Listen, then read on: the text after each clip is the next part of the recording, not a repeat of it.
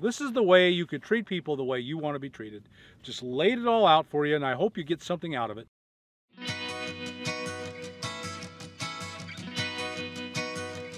Hi folks, welcome back to my next video. This is the third video of a series about, uh, the first one was about uh, dispersed camping and what that means and land ownership and so on. What does it mean when you say I own public land and what does it not mean? The second one was the first section of the Ten Commandments. This video is about the final Ten Commandments of dispersed camping.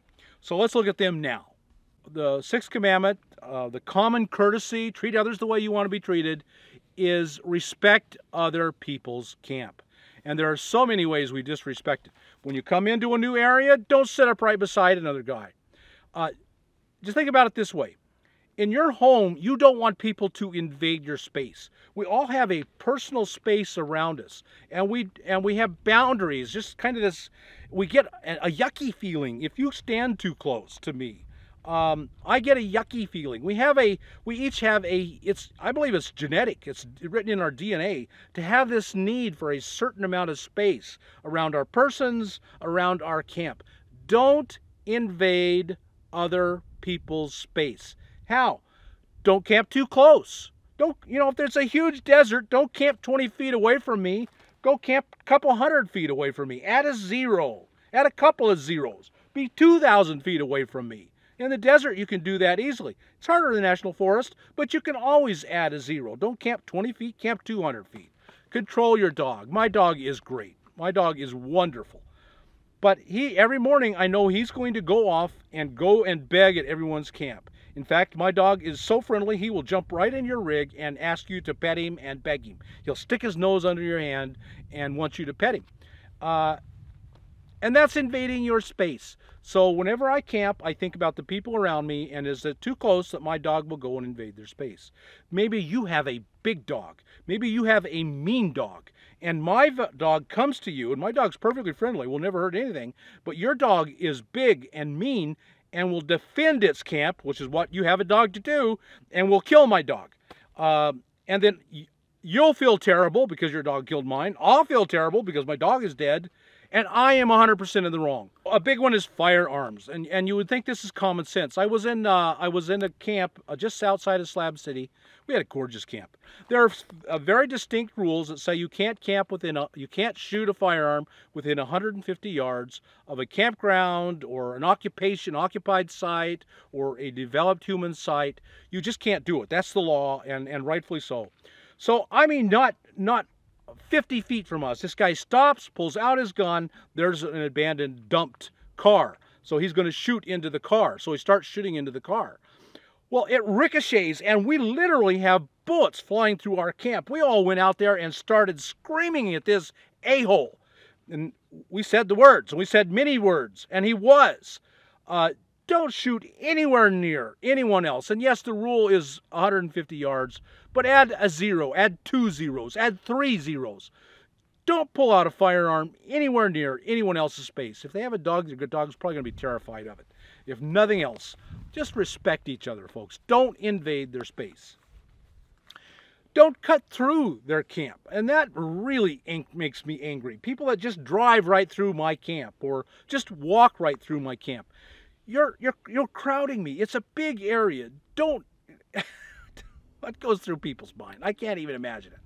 Uh, just don't respect people's space and privacy. It's it's public land. I can go anywhere I want. You don't own it. You can't tell me not to go on it. Yeah, but you can act like a decent human being, can't you? Is that unreasonable? Just act like good, compassionate, kind people. Don't invade people's space. Treat others the way you want to be treated. That's all. Don't shine your lights. Uh, don't aim your car into their campsite and their tent and turn on your lights and use them to set up your camp. Uh, why are you in there in the middle of the night that close to them setting up a camp? Think ahead.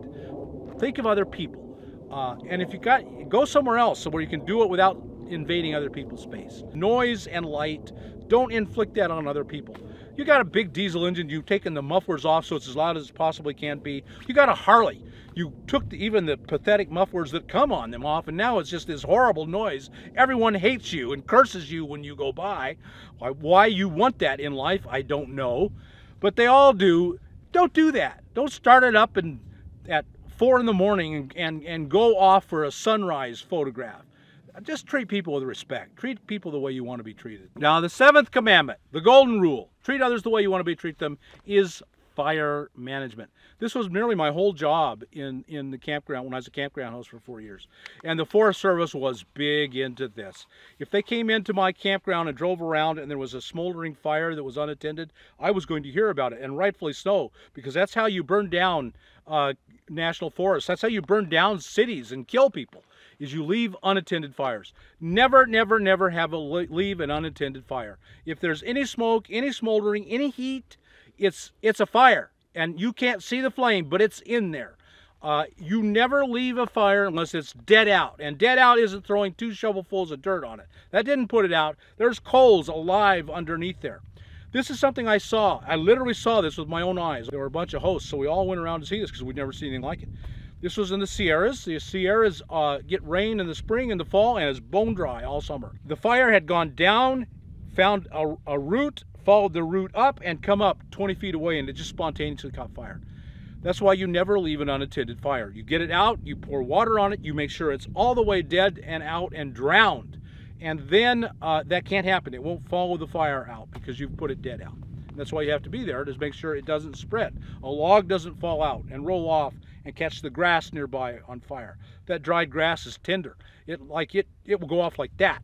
And that's how all these fires are happening out west, is all this dried grass is so tender. And leaves and needles, it's just a, a, a fire hazard, ready to go off. So fire management is extremely important. Now what can you burn? Now the national, out in the desert, BLM, you should not burn local stuff. You should bring in your own firewood. Uh, the, the desert needs all the organic material it can get, and if we come out here and burn all the organic material, all the dead organic material, there won't be any for the next generation of plants. There has to be organic in the soil for things to grow. Uh, they don't need much out here, but they need some.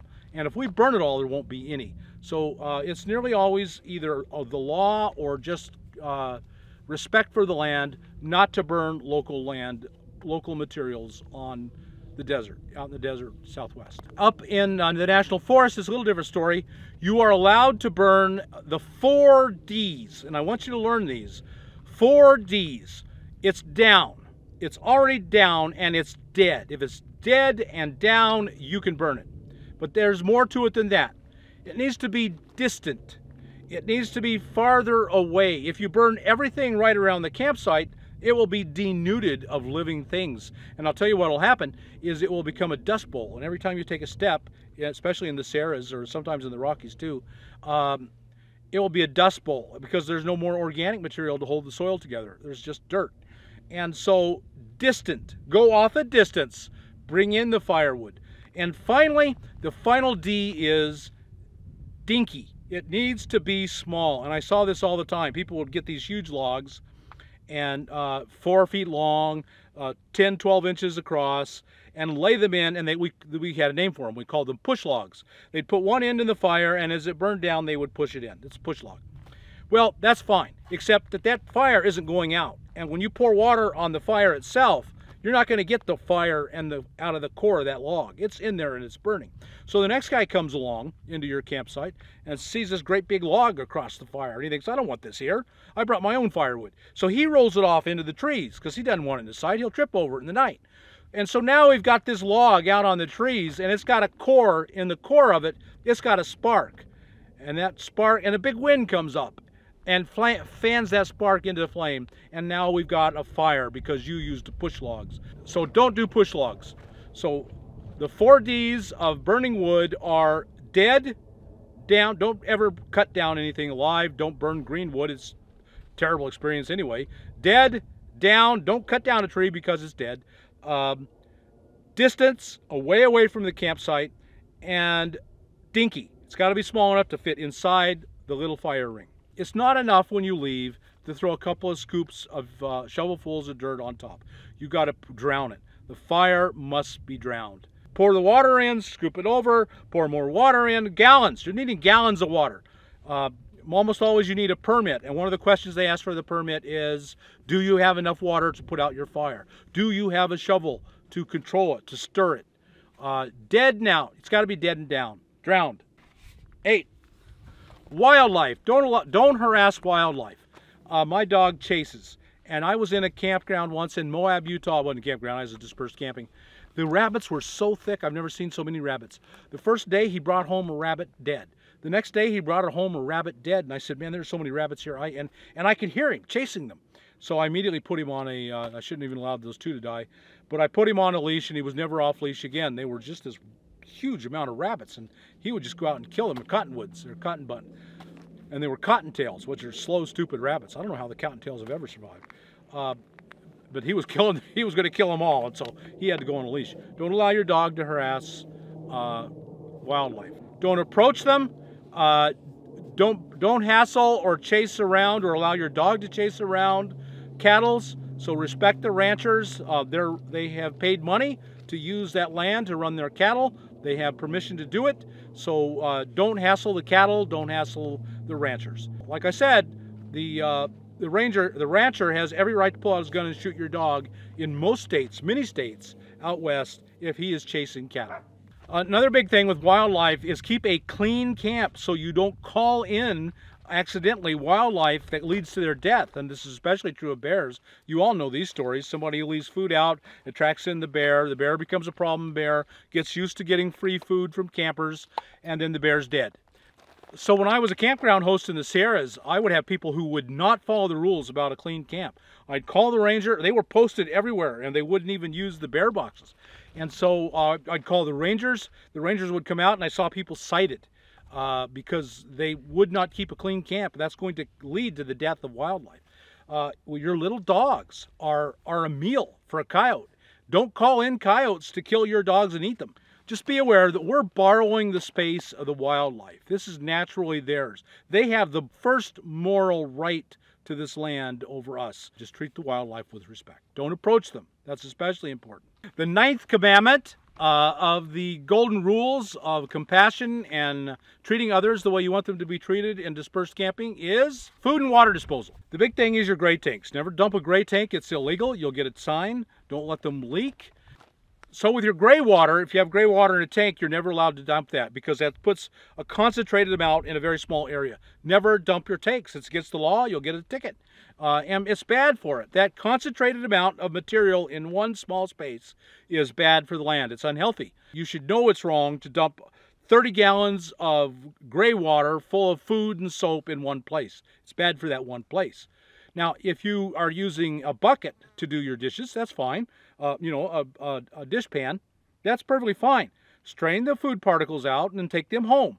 To take the water outside and fling it in a broad area. You're not going to damage anything. Use biodegradable soap, especially for your showers. You can take a shower outside, just use biodegradable soap. You're going to use two, three, four, five gallons for uh, a shower. Washing your hair, you know, you're just not going to use much. That much on one space with biodegradable, and there's no food particles there. See, that's one of the big problems is they rot, they decay, they, they bring in uh, other bugs and critters and falsely feed them. Finally, seems like after forever, we are at the 10th commandment. The 10th commandment of, uh, of dispersed camping on public land, the golden rules of treating each other the way you want to be treated on when you're out camping. And it is very simply controlling your animal. And really, we've covered all of this. Uh, you should pick up their poop if there are other people around. Don't allow them to run freed and invade other people's spaces. None of us want that. Don't allow them to chase and kill wildlife. Uh, you know, if there are rabbits out here, they get almost no water. They just get water through what they eat.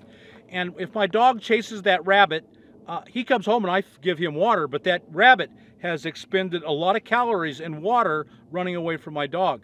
Now, if he runs this runs into that same rabbit the next day, he expends that same amount of water and, and, calories. And if that happens two, three, four days in a row, that, that rabbit can simply die of, mal, of not having enough water or food. Uh, and my dog just keeps coming home and I feed him and give him water. So control your dog. Don't let him just chase rabbits around. Keep a clean camp so that you don't call in predators. And so uh, that, that's your cat, that's your dog food too. Uh, your dog food will bring in uh, kit fox. I've actually had kit fox come in, so don't leave dog food out. Don't. It'll bring in coyotes. It'll bring in bears. It'll bring in mountain lions. Don't leave your food out uh, for your dog or your pet because that will be harmful to, to the wildlife in the long run. The biggest one of all is barking. I camp with someone who bark, whose dog barks all the time. Man, if your dog barks all the time, get a get a bark collar. Put that thing on them, and you can set the sensitivity. When it barks a certain height, it shocks them, and they stop. They'll stop. Don't be the person with barking dogs that everyone in the camp curses you. Don't do that. Uh, control your dog's barking. Fighting. If you have a mean dog, my question to you is why? Um, uh, none of my dogs, my, I haven't had issues with my dogs fighting. I wouldn't own a dog that had an issue. If I thought my dog was at risk of hurting another dog or of uh, hurting another person, I'd put the dog down. I mean, you just can't have that. Uh, if you come out here with a mean dog, shame on you. Uh, you say, well, I'm going to control him, but you can't. The leashes break, chains break. Uh, other dogs approach by by not knowing it's mean. Uh, other people approach not knowing it's mean. Uh, don't have a mean dog out here. Don't have a barking dog out here. Don't have a mean dog out here. Just don't do it. It, it isn't right. I'm sorry. I know that's going to make offend a lot of people, but that's the way it is. Just don't do it. So there you have it, folks. I've talked on and on and on forever, and boy, I just about talked out now. Uh, so this was the end of the, the series, the third video.